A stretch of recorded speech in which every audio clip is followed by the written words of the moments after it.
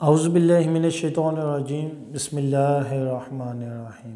Channel पर नए आने वाले तमाम सब्सक्राइबर को मेरी तरफ़ से असलकुम आज का हमारा टॉपिक है what is prospectus prospectus normally college की हो स्कूल की हो, कोई भी किसी कंपनी की ऑर्गेनाइजेशन की प्रॉस्पेक्टस हो तो उसका मेन मकसद होता है कि आप अपने जो कस्टमर है, जो एंड यूज़र है, आप उसको क्या चीज़ प्रोवाइड कर रहे हैं, उसमें सारी डिटेल दी गई होती है आपके बिज़नेस के बारे में और आप अपना अगर फ़ंड रेज़ करना चाहते हैं तो उसी के थ्रू करना होता है।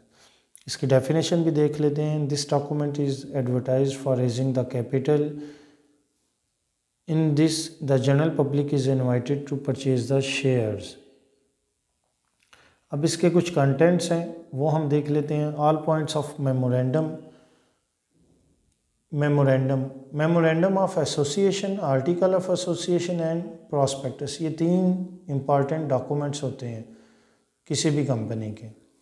तो ऑल पॉइंट्स ऑफ़ मेमोरेंडम इसमें शामिल होते हैं। Next name and address of bank अगर बैंक के हवाले से आप कर रहे हैं फॉर एग्ज़ाम्पल तो उसका नेम और उसका जो एड्रेस होगा, वो होगा। अगर किसी और कंपनी का कर रहे हैं फिर उसका नेम फॉर एग्ज़ाम्पल कोई फर्टिलाइज़र कंपनी है, या कोई दूसरी कोई भी कंपनी मैकेनिकल हो तो उसका नेम एंड एड्रेस भी उसमें शामिल होगा।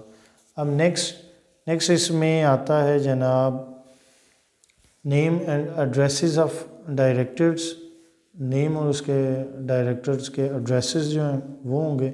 Next names and addresses of auditors auditor और डायरेक्टर्स के नेम और एड्रेसेस इसमें शामिल होंगे conditions on which the shares to be issued किन कंडीशंस पर शेयर्स इशू होंगे voting rights of shares shareholders estimated preliminary expenses preliminary expenses होते हैं कि कोई भी बिज़नेस स्टार्ट करने से पहले के जो एक्सपेंसेस होंगे ना, कि जो एक्सपेक्टेड होते हैं कि ये एक्सपेंस हो सकते हैं तो वो प्रीलिमिनरी एक्सपेंसेस होंगे। नेक्स्ट है detail of property purchase by the bank अगर बैंक कर रहे ये बिज़नेस तो बैंक की जो प्रॉपर्टी की डिटेल होगी, वो सारी की सारी बैलेंस शीट ऑफ़ बैंक उस बैंक की सारी की सारी बैलेंस शीट होगी। बैलेंस शीट में एसेट्स और लाइबिलिटीज़ होती हैं। नेक्स्ट है amount payable on application application के ऊपर कितनी अमाउंट पेबल होगी?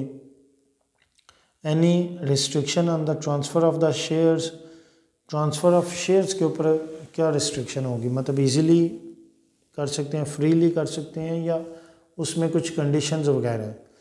Minimum subscription on which the directors may allot the shares name of underwriters and their commissions underwriters होते हैं कि स्टार्टिंग में जब भी कोई नई कंपनी आने लगती है तो कुछ अंडर राइटर्स होते हैं, वो ये कहते हैं कि आप ये शेयर्स हमें दे दें।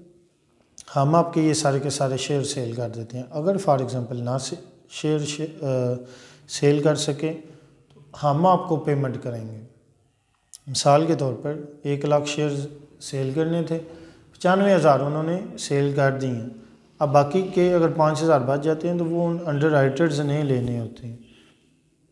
नेक्स्ट है जी duties and remuneration of directors business contracts dividend ratio on different kind of shares kind of shares kind of shares मैंने आगे भी आपको बताया कि इसमें जो डिफरेंट काइंड ऑफ़ शेयर्स होंगे for example preferred stockholders या दूसरा कोई भी हो जाए कॉमन स्टॉक होल्डर हो जाए तो वो सारे के सारे इसमें मेंशन होंगे।